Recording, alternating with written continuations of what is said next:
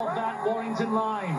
Cunningham to Sean Long. Long the dummy, and Long gets the first try. St Helens pick up where they left off against Wigan on Good Friday, and Sean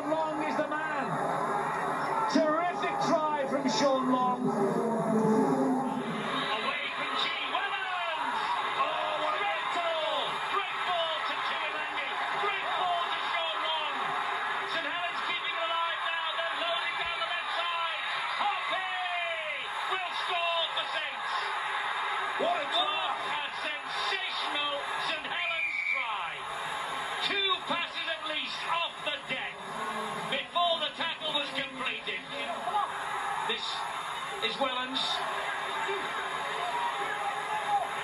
Good work from Ian Knott. That's two tackles on the run.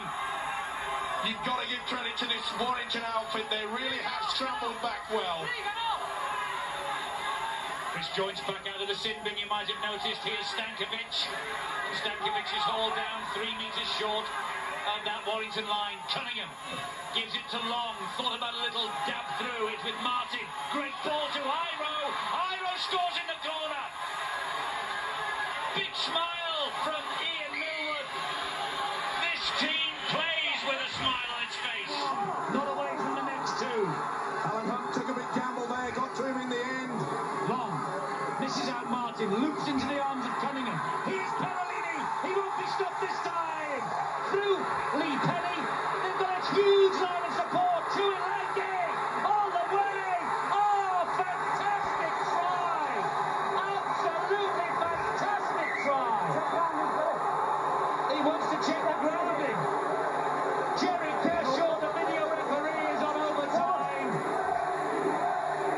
Me has scored a memorable try. Absolutely superb, no doubt about it. And Russell Smith wasn't up with the play, he says he was too slow. It's caught up with him as well, no doubts. It's level pegging. Seven points is the biggest gap we've had all night. And Perelini, Perelini's got long. Long will score under the posts. And Long could easily have won this match for St Helens match that has kept us spellbound from the very first minute. And have Saints got something left in the locker?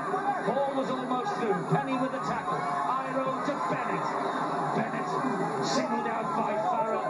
Done to the ground. Keep your eye out for Sean Long, he'll go for a single run, I'm sure. And Neil goes down under the sheer weight of numbers. Oh, or will Long go for the kick? Long will stab it through looking for